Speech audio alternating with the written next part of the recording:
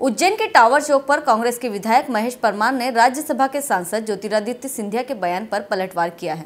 विधायक ने कहा कि एक साल जनता परेशान और बीजेपी के नेता हुए मालामाल। उज्जैन के टावर चौक पर कांग्रेस के द्वारा आयोजित एक कार्यक्रम में तराना विधायक महेश परमार पहुँचे हुए थे, जहाँ पर विधायक ने कहा कि एक साल में आम जनता परेशान हुई। किसान मजदूर सब परेशान हो रहे हैं। एक दिन में दो बलात्कार हो रहे हैं। कानून व्यवस्था फेल है। उज्जैन से वीरेंद्र शर्मा की रिपोर्ट। जी ज्योतिराज सिंधिया जी का आज आगमन हुआ। उन्हें सबसे पहले कहा एक साल बेमिसाल हो गया एक साल जनता बेहाल। और भाजपा के नेता माला माल हुए इस एक साल में। और- कुछ भी नहीं हुआ जनता का। और पूरा प्रदेश कंगाल। अच्छा। और पूरे देश में देख रहे हो आप जन किसान परेशान युवा परेशान माता बहनों के सम्मान रोज एक दिन में दो बलात्कार हो रहे हैं। कानून के नाम पे सब पूरा शर्म आ गई है कानून व्यवस्था।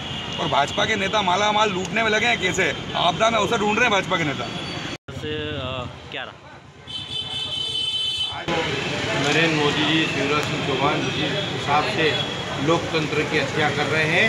उसके अनुसार आज जो हमारे प्रदेश की सरकार जनता ने चुनी हुई सरकार को इन्होंने पैसे के दम पर और इनके प्रभाव से इन्होंने जो सरकार गिराई, उसकी हम निंदा करते हैं और हम लोकतंत्र दिवस के रूप में जो आज हमारे कमलनाथ जी ने, प्रदेश अध्यक्ष जी ने इस्तीफा दिया और लोकतंत्र का सम्मान किया, हमने आज उस सम्मान में, आज लोकतंत्र सम्मान दिवस मनाया गया है। उसके रूप में हमने आज रैली निकाली है। रैली हमने गांधी प्रतिमा के यहाँ क्षीर सागर से निकाली।